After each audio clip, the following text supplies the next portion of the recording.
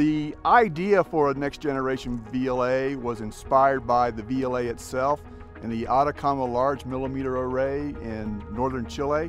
Uh, the NRAO, in conjunction with our science community, uh, envisioned the NGVLA as a new large radio interferometer that will open up new discovery space in astronomy.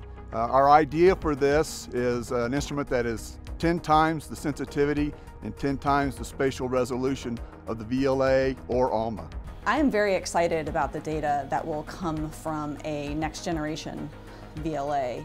Uh, it will be exquisite in detail, uh, the sensitivity will be unparalleled, and the opportunities that it will open up um, in, in many different science areas um, is really one of the things that excites me most, that this is a very open facility that anyone who has a great science idea can propose for and use, and its flexibility and its versatility enable many more science questions to be addressed than, than what we can think of right now.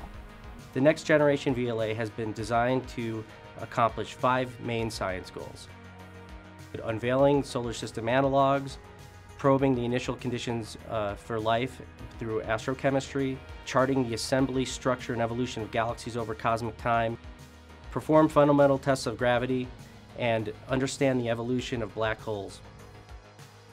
One of the things I work on is measuring the distance to stars in star-forming regions, and measuring their distance and how they move within the star-forming regions. Currently, we can only do 20, maybe up to 100 stars in these star-forming regions.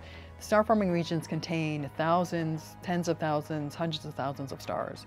With the next generation VLA, we'll be able to study 10,000 stars in these star-forming regions, which will help us give definitive answers to major questions in star formation.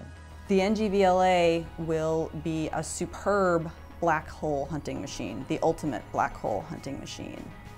The NGVLA's uh, high resolution imaging combined with its fast mapping capabilities will enable it to search for radio transients associated with gravitational wave sources, neutrino transients, and optical observatory transients, uh, and identify those with black holes that are involved in violent merger events.